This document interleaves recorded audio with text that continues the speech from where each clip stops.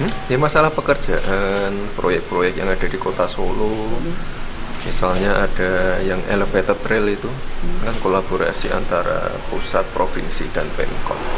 Ya. Nah, saya kan harus laporan kendala-kendala di lapangan seperti apa. Solo ini kan paling dinamis gitu ya. Jadi yang coba kita sampaikan yang Mas Wali menyampaikan program BSN tadi itu yang eh, gede-gede rencana beberapa program dari pemerintah Solo yang eh, sebagai pusat industri kreatifnya gitu. Itu mau kita dorong.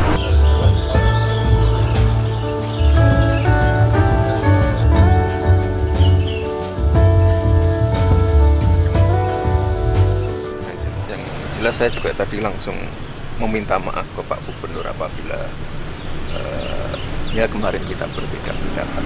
Tapi semuanya clear kok, tenang aja ya.